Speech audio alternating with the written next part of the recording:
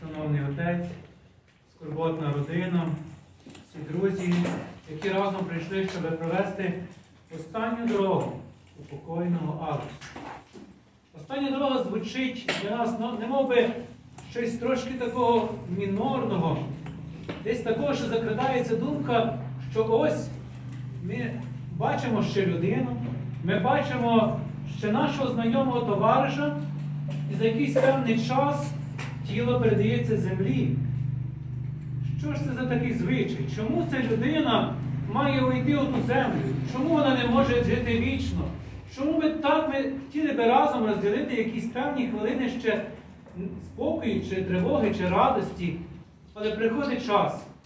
Господь Бог так сотворив цей світ, що на все є свій час. Є час збирати каміння, його розкидати, є час будувати, руйнувати, є час у цьому світі народитися. І через гріхопадіння людина має залишити цей світ. Цей світ, який ми бачимо, він є чудовий. Але Господь Бог сказав, що каже, я йду і приготую вам місце. Апостол Павло у своєму видінні каже, що те, що він побачив, не можна переказати. Каже, я не можу навіть людськими словами сказати, що Бог приготував для нас. Ми бачимо тут і кажемо, які чудові ці дерева, які чудові цікаві є тваринки в цьому світі, як цікаво нам жити в цьому світі. Але уявімо собі, що Бог для нас ще зробив щось краще. Чи ми можемо уявити собі, що можемо бути у раю? Який цей той стан? Який той стан, що ще щось досконаліше? Ми тут на землі дивуємося якісь е, е, таким цікавим моментам природи.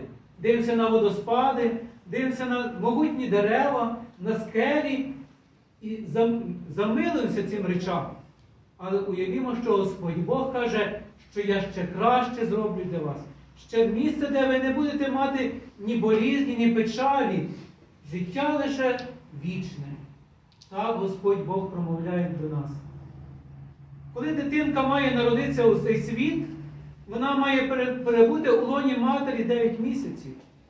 Десь подібно та дитинка думає, як їй зручно перебувати в лоні матері. Вона має все. Вона має тепло, має їжу, і так добре бути в лоні матері.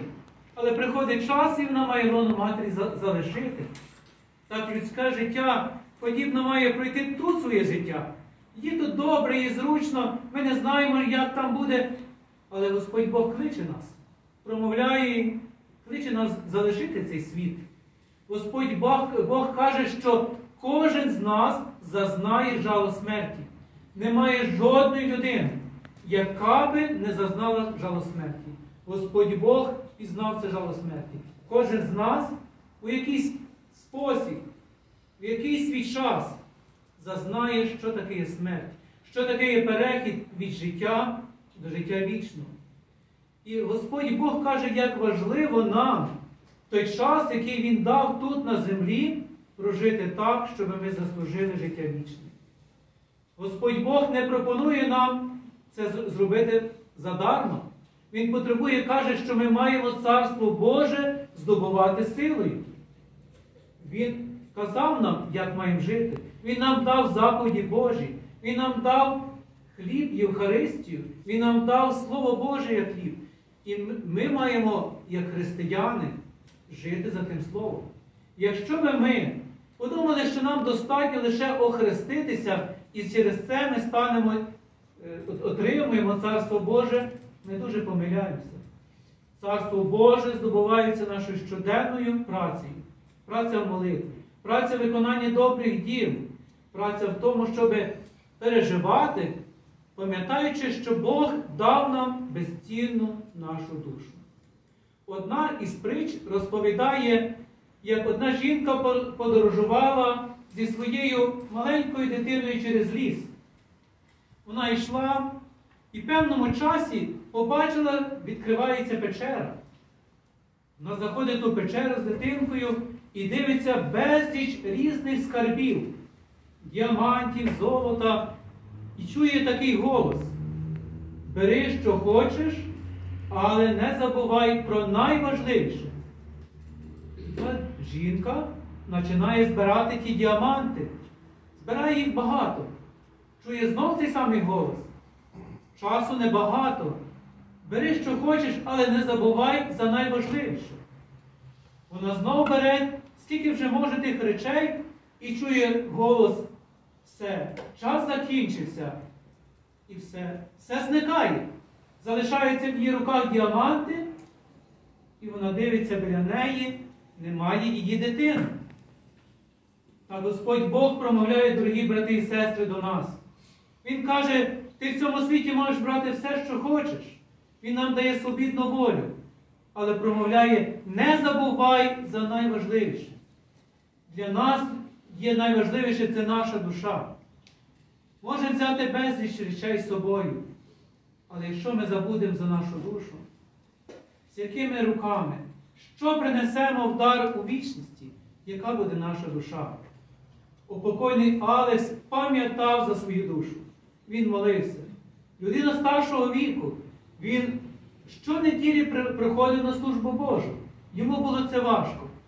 Але як було чути, нам приємно, коли ми чули, як він старається співати, як він своїм тим, таким співом йому тяжко це давалося. Він мав таку задиху, але він промовляв, Господи, помилуй. І до кінця свого життя пам'ятав за Бога, радів Божій присутності. Старався зробити все щось для церкви. Я думаю, що багато за мене можуть більше розказати за цю історію, як він переживав за церкву, як він дбав. Те, що мені розповідали, як він переживав і збирав цю громаду. Розповідає мені люди кажуть, як служба Божа завершувалася, він до кожної людини підходив. Він питався, як твої справи? Що ти? Коли ти прийдеш? Що, за що ти переживаєш? І кожному старався приділити уваги. І знаю, що дуже багато людей завдячують йому тим, що вони стали добрими і ревними християнами. Ми на завершення співаємо вічної пам'яті.